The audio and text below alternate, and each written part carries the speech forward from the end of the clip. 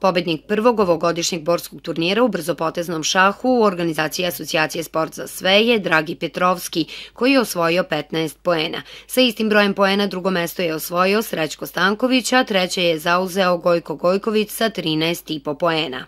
Posle mnogodišnjeg turnira u malom futbolu mi idemo sa organizacijom turnira u brzopoteznom šahu.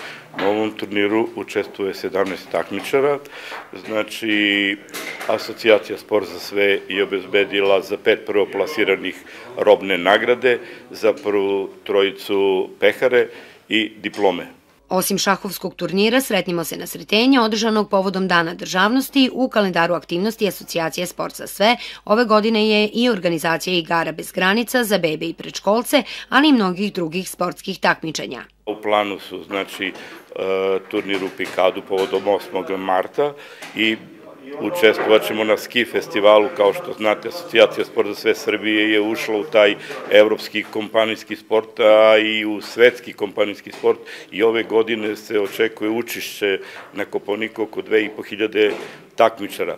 Nadam se da će i ekipa Bora, vidjet ćemo od finanskih sredstava, zavisno od lokalne samoprave, učestovati kao što i svake godine učestvujemo i sva ova takmičenja koja mi radimo rekreativnog karaktera su zahvaljujući podršci lokalne samouprave. Znate, naša, naša takmičenja su prvenstveno bazirana na, na deci preškolskog uzrasta, osnovnih škola, seniora, veterana. Neposredno pre šahovskog turnira, organizovanog pod pokroviteljstvom opštine Bor, održana je i Skupština šah kluba. Osim novog nadzornog i upravnog odbora, kojim će u narednom periodu predsedavati Goran Dimitrijević, na sastanku je izabran i novi sekretar šah kluba Bor.